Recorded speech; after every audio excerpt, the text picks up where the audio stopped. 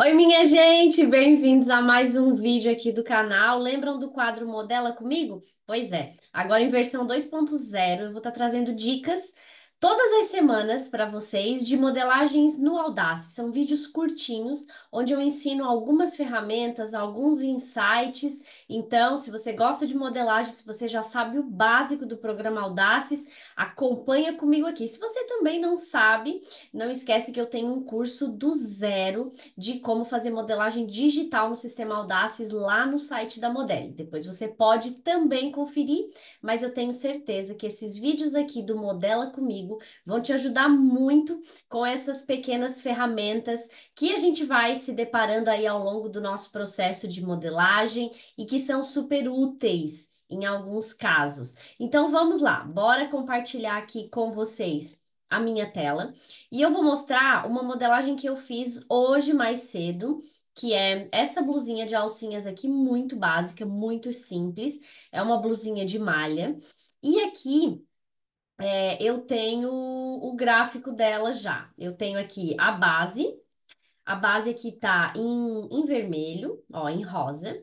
Depois aqui em branco eu tenho o traçado dela, como eu calculei aqui para para fazer toda a estrutura dessa, dessa peça, né? Lembrando que essa aqui é uma base de malha, então a minha base já estava com os cálculos traçados da elasticidade, né? Reduzindo 20% no contorno, 10% na altura mais ou menos.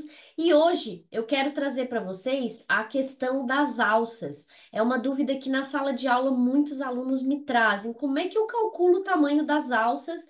se eu não tenho uma pessoa para vestir ou se eu não tenho um manequim. Nesse caso, você tem a base. Então, por isso, eu sempre exploro nas minhas aulas que vocês têm que modelar dentro da base. Ó. Esse traçado branco aqui é como vai ficar o contorno da minha peça. Se eu sei que o meu contorno vai acabar aqui, porque eu desenhei ele para tampar o peito, não tem um decote muito pronunciado, o que sobra daqui até no ombro vai ser a minha alça. Então, olhem que interessante o que eu fiz aqui. Eu peguei uma linha reta, simples assim, paleta construção, ferramenta reta, e liguei em zero, né? Em zero aqui para, para X, ó, aqui na minha caixinha vai mostrar, em zero para X. Eu levei até a linha do ombro. Então, essa aqui é a minha alça da parte da frente.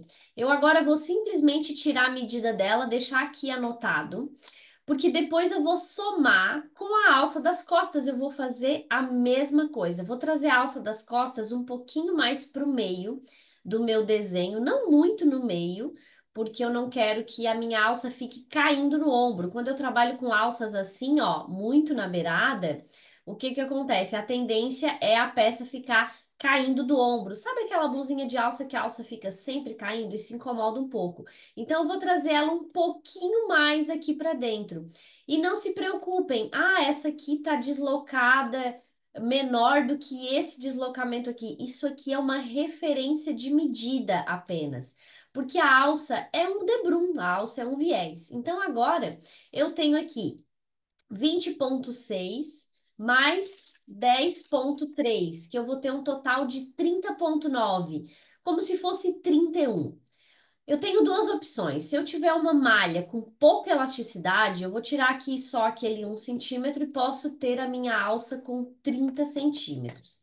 Mas se eu tiver um material com muita elasticidade, o ideal é que eu tire aqui uns 10%. Então, eu vou tirar 30 menos 10% vai dar 3, então a minha alça vai ter 27. Eu vou aqui só editar com a ferramenta paleta construção, ferramenta editar texto, porque eu já tinha escrito isso.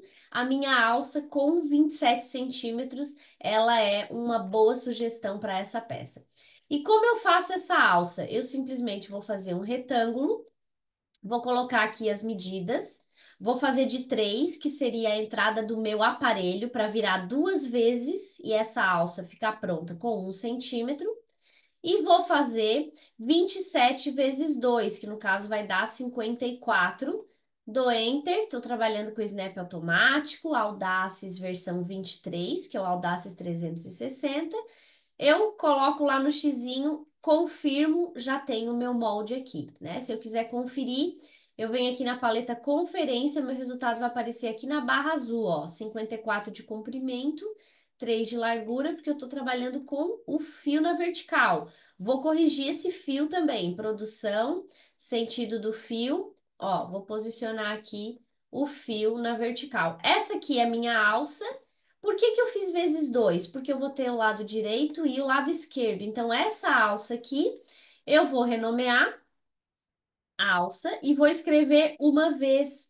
Por que uma vez? Porque eu vou cortar uma vez depois cortar o meio e aplicar ela a cada lado. Então, esse foi aqui uma dica rápida de como calcular uma alça para uma blusa que a gente já fez dentro da nossa base de malha, mas não temos como medir o tamanho da alça numa pessoa ou num manequim. É para isso que serve construir os nossos moldes dentro da base. Bom, espero que tenham gostado dessa dica rápida e espero vocês no próximo Modela Comigo aqui no canal da Modelo. Tchau, tchau!